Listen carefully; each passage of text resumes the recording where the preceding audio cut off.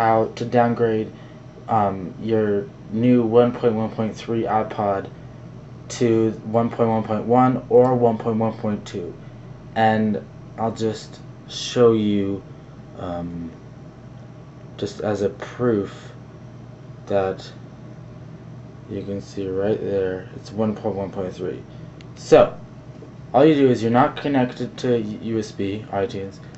So you hold the sleep button turn off the iPod and then you connect your USB and then you hold one, two, three, four, five, six, seven, eight, nine, ten, both the sleep and the home button, and you release the sleep and keep on pressing the home for 10 seconds.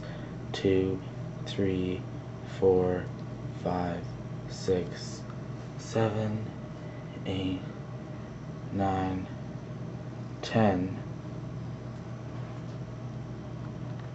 And now, as you can see, iTunes has checked something. So, it says detected a problem. So press OK. And then all you do is press Shift and restore at the same time. Go find your file. Um, iPod 1.1.1 restore file or iPod 1.1.2 restore file. Oops. Press OK and it's extracting file.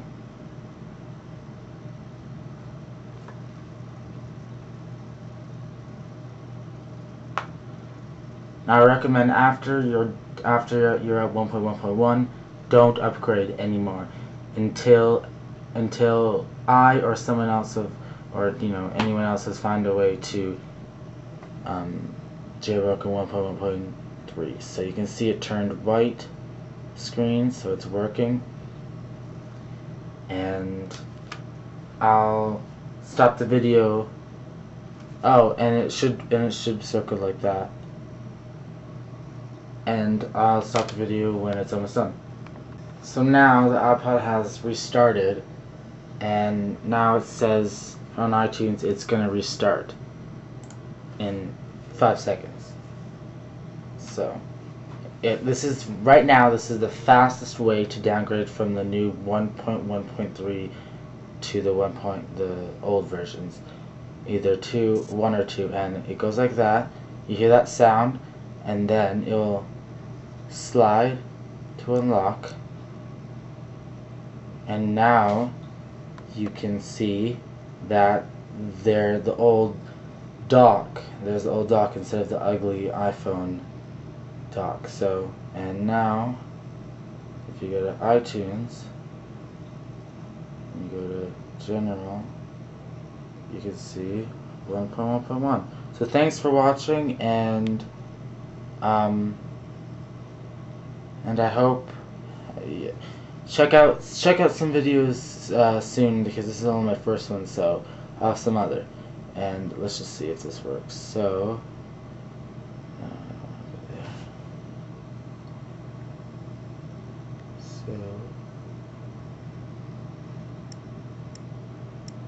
chill. Break me oops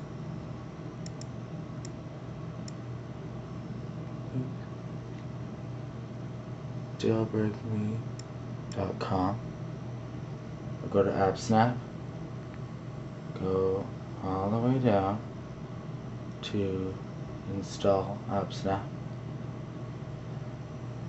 it's loading.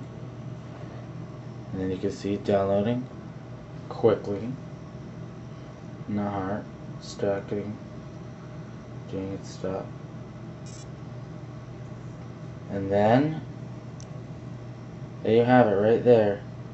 The installer. So thanks for watching and pass this on so I want a lot of subscribers. And I'll have the my contact information so if you have any questions just send me an email. Okay thanks